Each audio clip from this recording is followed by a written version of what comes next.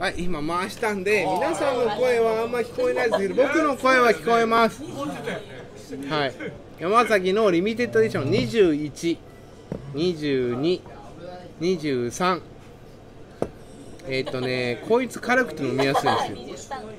これねこれ軽くて飲みやすかった。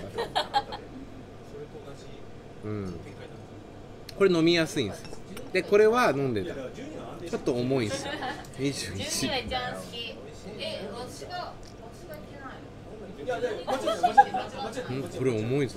えこのアンダーなんだ？22か。だからこっちはねこれ山山さんって言っちゃダメか。あ好みだったらどうでもいいんだけどえ完全なあえなんだみたいななんだそのむせるのなんでむせてんの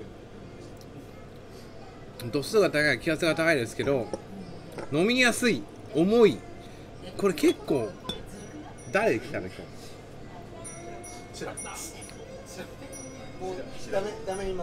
あでもトータルしたら俺2021かな。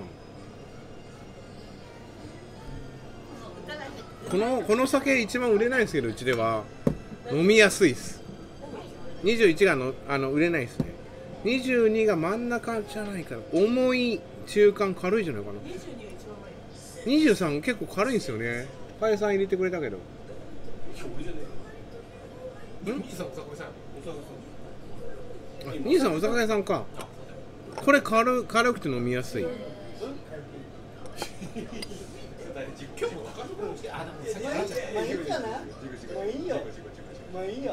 どれがうちの酒？これか。これがうちの酒か。で入れてくれたじゃんこっちが一番重いか。あでも本当に10万ですよ。重い中間軽いです多分。ごめん酔ってる。ただ今これはまあ動画を撮ってる。これをどうするかは知らない。俺明日あげるか知らないけどえっ、と20212223を今飲みました。重い中間軽いです。でもこれは本当に軽くて飲みやすい。この2人は2つはお客さんのボトルです。これがうちのボトル。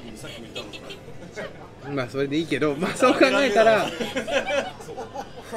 対あげらんねえだろこれ。あげるけどな俺は。いや絶対あげらんねえだろこあれ。おっさん俺あげるんだ結構あげるんだよこれ。ごめんごめんごめん